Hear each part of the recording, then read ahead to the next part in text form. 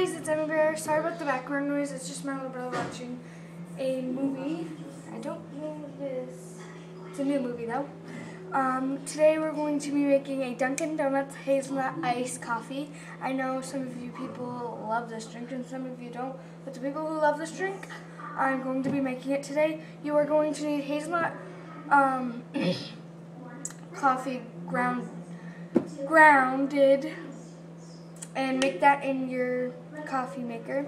And then I put it in a cup, this big cup, and then I chilled it. But if you don't want to wait that long, you can take a drink mixer, and there's no alcohol in this. I would never do that.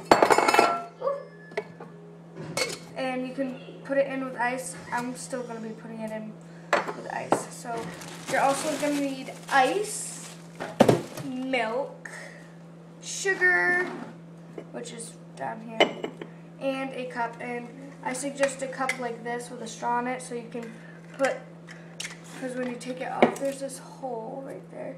And you can hold your finger over it and shake it. So, I've made this before. I made it today and I fell in love. So first what you're going to do is take your ice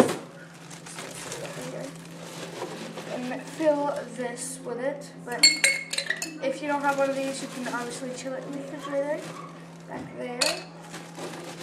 But this is just a quicker way. And if you're going to use this, put the coffee in the refrigerator for about 10 to 20 minutes before doing this. I just did 10 minutes and it still worked. But this makes it super cold. So, especially because it's metal. Then pour your coffee in there.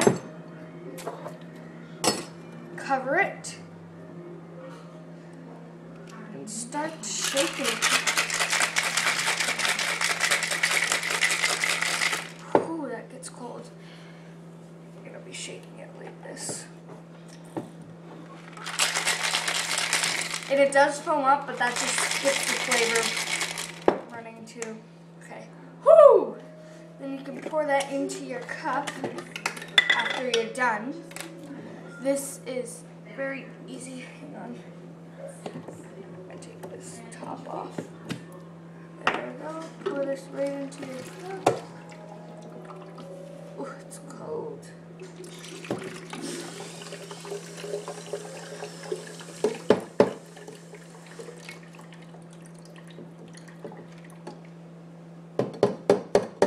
I think I'm gonna have to put more in here.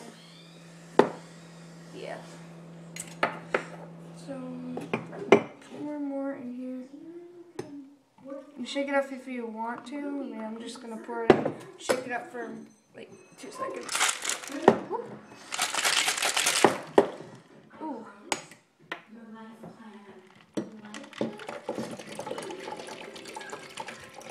And only fill it about halfway because once you add the ice in there, it's gonna fill up more too.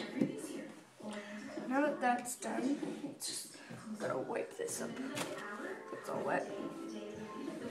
You can take your milk. Now make sure you add the ice and then pour. I mean, add the milk and then put your ice in, just because when you add the milk, it, you can taste the flavoring more and not just water. And then add your ice.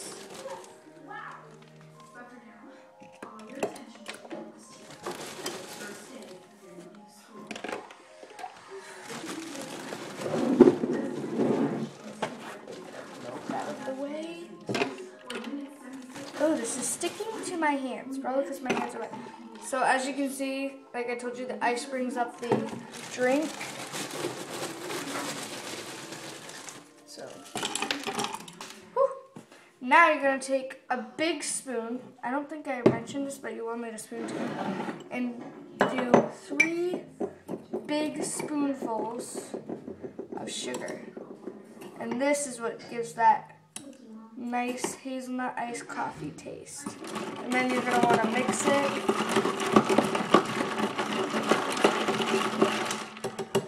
Mix it some. Ugh, still tastes that. This is when this comes in handy. Put this over the cover. Hang on.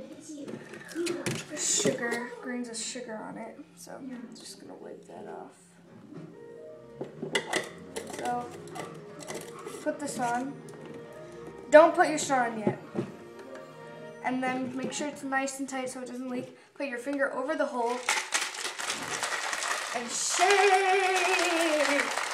And this makes the sugar come around and when you suck in, it doesn't just get all those grounds of sugar. Just shakes it up for you so the sugar is everywhere. Whew. Oh! Came out, but that's okay.